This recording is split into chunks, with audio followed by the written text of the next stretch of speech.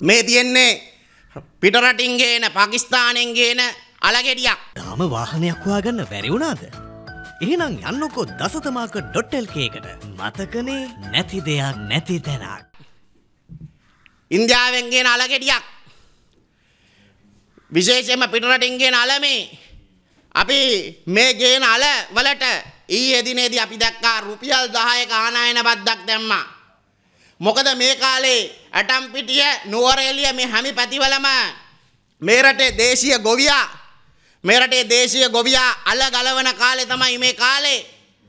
ඒ අලවන අල ගලවපු කාලේ මේ රටේ මේ රටේ මෙට්‍රික් ටන් ලක්ෂ දෙකයි තිහක් ඕනේ මේ රටේ අල පාරිභෝජනයට.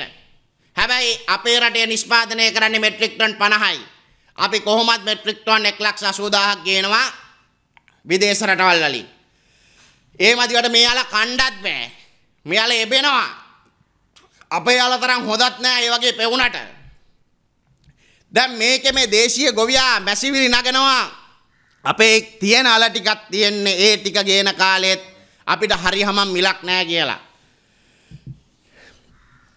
අපි විශේෂයෙන්ම අගය කරනවා මේ අලගෙඩියට මේ විදේශ රටවල් වලින් ගෙන්නන අලගෙඩියට රුපියල් 10 කාණායන බද්දක් දාලා මේ රටේ දේශීය ගොවියව මේ රටේ දේශීය අල ගොවියගේ පවුල් වලට ඒ දේශීය අල ගොවියව රැකගන්න ඒ දේශීය අල ගොවියගේ ජීවනාලිය ඉහළ දමන්න ඒ දේශන දේශීය අල ගොවියව ආරක්ෂා කරන්න මේ රාජ්‍ය නායකයා මේ ආණ්ඩුව රුපියල් 10ක් කියලා දානවා ආනායනය ආනායනය කරන දල සඳහා. ඒක ඊටාම ප්‍රගතිශීලී තීන්දුවක්.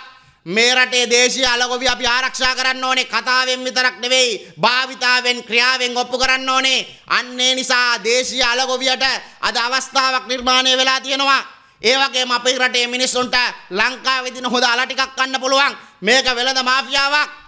ඒ නිසා මේ ආනයන බද්ද ඉහළ දාලා මේ රටේ දේශීය අලගොවියව ආරක්ෂා කිරීම තුළින් ඒ දේශීය අලගොවිය වටා තියෙන පවුල ඒ සියල්ල නඩත්තු වෙනවා. ඒ නිසා අපි ඉල්ලනවා කරුණා කල්ලා මේ ගත්ත තීරණය විශිෂ්ටයි. මේ තීරණ දිගටම ක්‍රියාත්මක කරන්න දේශීය අලගොවියව රැකගන්න දේශීය ගොවියගේ ආර්ථිකය ආරක්ෂා කරන්න. ඒ ගත්ත ක්‍රියාපිළිවෙත ප්‍රගතිශීලී ක්‍රියාපිළිවෙතක් කියලා අපි ප්‍රකාශ කරනවා.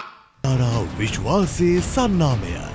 දසත නිවස් දවසේ දසත පැතිරුණු පුවත් ඇසිල්ලෙන් දැනගන්න. දසත YouTube නාලිකාව සබස්ක්‍රයිබ් කරන්න.